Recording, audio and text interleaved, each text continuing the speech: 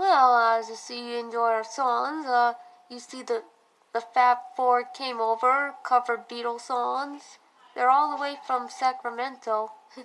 That's where they came. But now they they already left. So, and you heard about the song called um, you know, the song we played was um, what was that? Oh yeah, the one was called Hash Pipe. Of course, by um Weezer. We did the cover of that.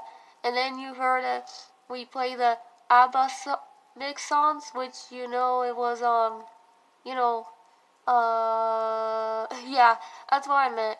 It was um, remember we did the Mamma Mia album a while back. Of course, uh, you already heard that. And then the other song we did is Super Freak and You Can't Touch This.